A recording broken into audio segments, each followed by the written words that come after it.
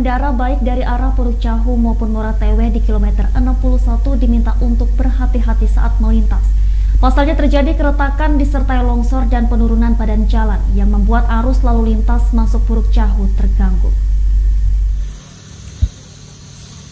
Kapolres Mura AKBP I Gede Putut Widiana melalui Kasat Lantas Polres Mura AKP Hermanto saat dikonfirmasi membenarkan hal tersebut.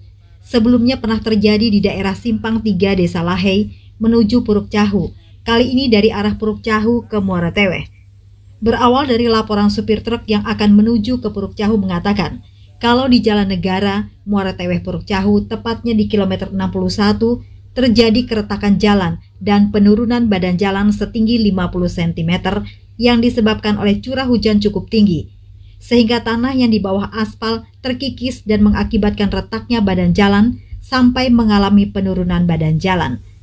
Langkah-langkah yang kemudian dilakukan Satlantas adalah memberikan himbauan berupa spanduk agar selalu berhati-hati.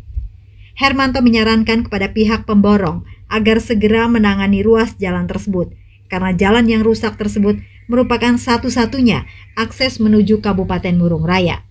Hermanto juga menghimbau kepada para pengemudi kendaraan, baik roda 2 maupun roda 4, agar selalu berhati-hati saat melintasi di ruas jalan tersebut.